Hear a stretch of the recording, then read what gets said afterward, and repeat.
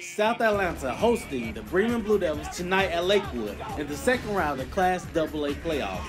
The Hornets seeking their first consecutive playoff win in school history.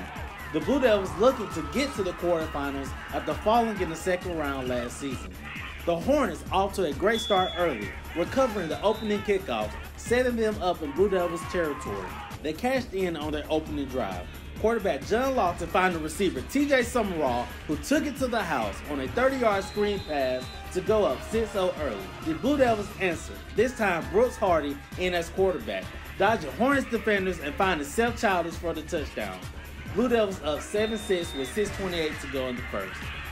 The second quarter featured quarterback Tucker Hendricks, who gave the Hornets defense trouble all night, scoring on an 8 yard rushing touchdown to go up 14 6. A bad snap on fourth down by the Hornets led to Hendricks recovering the ball in the end zone. Blue Devils up 21 6 at the half.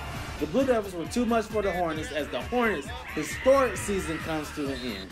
42 6 is the final. Head coach Davis Russell spoke to his team after the game. We ain't done.